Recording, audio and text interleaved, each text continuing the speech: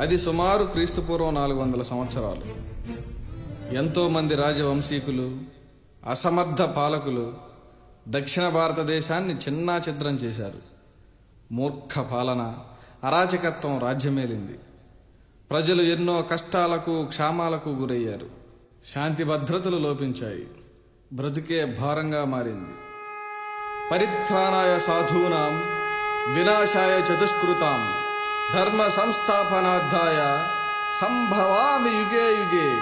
త్రేతాయుగంలో రాముడు ద్వాపర యుగంలో కృష్ణుడు. ఇలా ప్రతి యుగంలో ధర్మ స్థాపనకు దేశ రక్షణకు ఒకడు లేదా ఒక సమూహం ఏర్పరచబడుతుంది.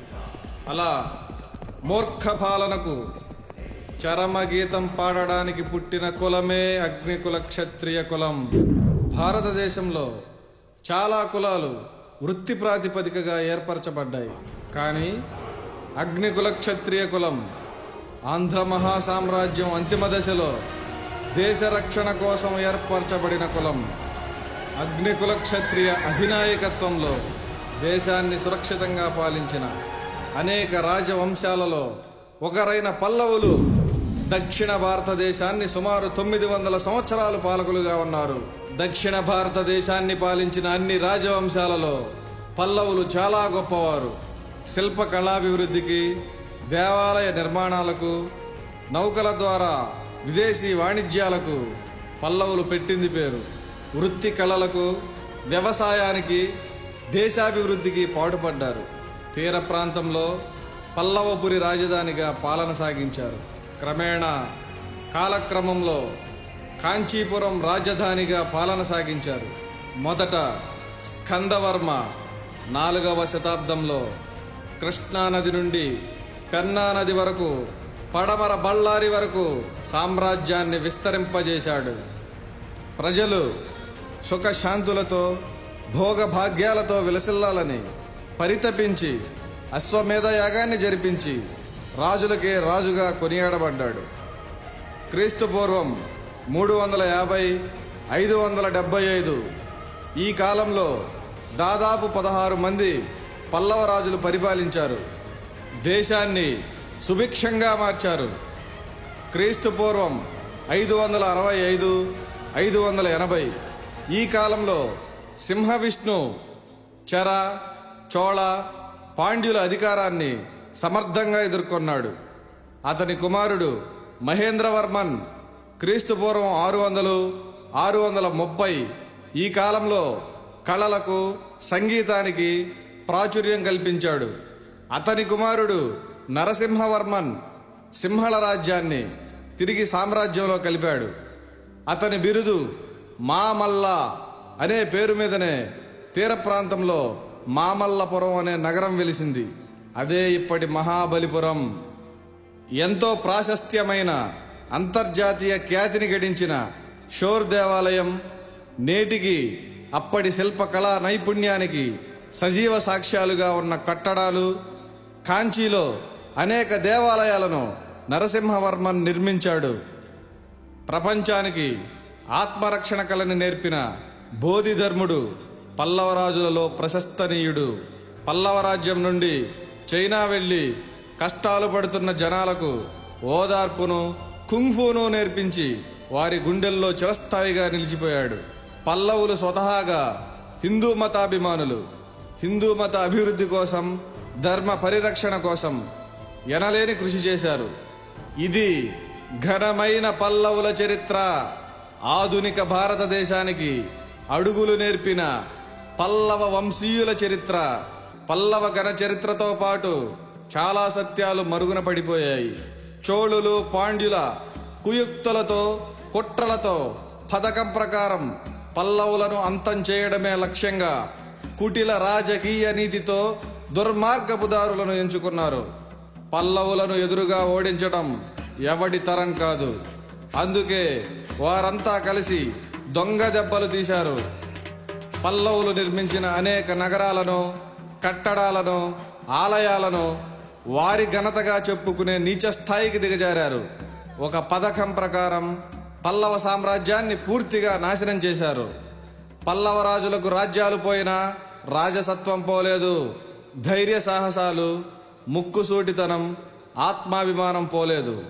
తిండి ఉన్నా లేకపోయినా నీతిని రాజసాన్ని వదులుకోవడానికి ఏ అగ్నికుల క్షత్రియుడు సహించలేడు. అది వారి రక్తంలో నర నరాన జీర్ణించుకుపోయింది. కాలక్రమంలో ఆంధ్రదేశంలో పల్లవులు పల్లీలుగా పిలువబడ్డారు. పల్లి అంటే పాళీ భాషలో రాజు అని అర్థం. పల్లవుల పతనానంతరం శాసనాలు పాళీ భాషలో ఉండడం చేత పాళీ భాష ప్రాచుర్యం పొందడం చేత పల్లవులు పల్లీలుగా పిలువబడ్డారు.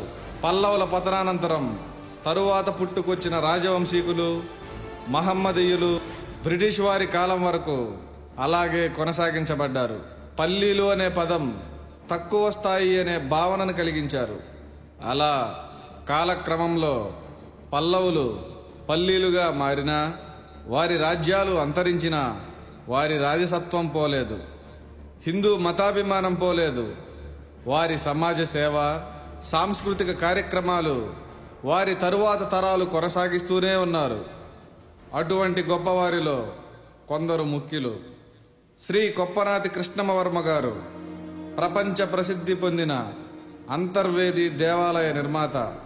అంతర్వేదిలో శ్రీ లక్ష్మీ నరసింహస్వామి వారి దేవాలయాన్ని పద్దెనిమిది వందల ఇరవై మూడులో నిర్మించి స్వామివారికి నిత్య ధూప దీప నైవేద్య మరియు కళ్యాణ మహోత్సవాల కొరకు ఎటువంటి లోటు లేకుండా పద్దెనిమిది వందల ఎకరాల భూమిని వజ్ర వైడూర్య రత్న మణిహారాలతో కూడిన ఆభరణాలు సమర్పించి భక్త శిఖామణిగా కీర్తి గడించారు.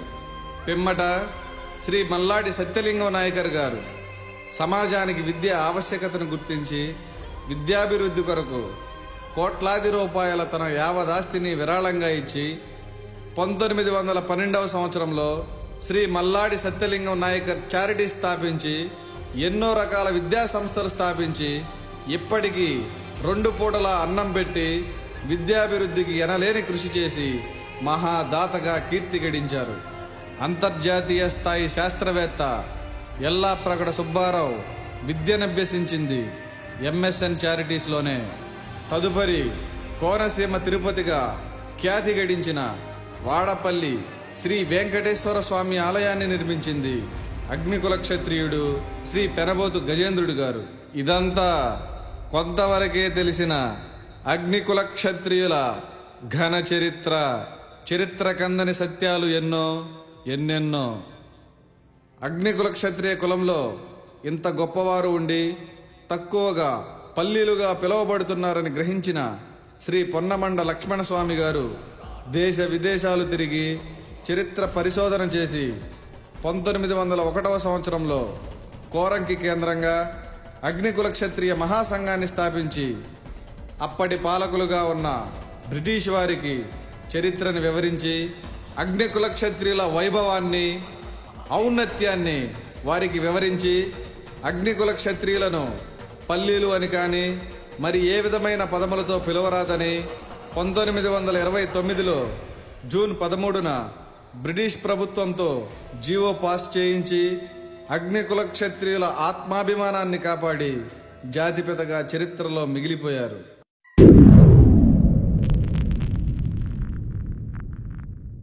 అంతటి ఘన చరిత్ర కలిగిన అగ్నికుల క్షత్రియులు ఇప్పుడెలా ఉన్నారు?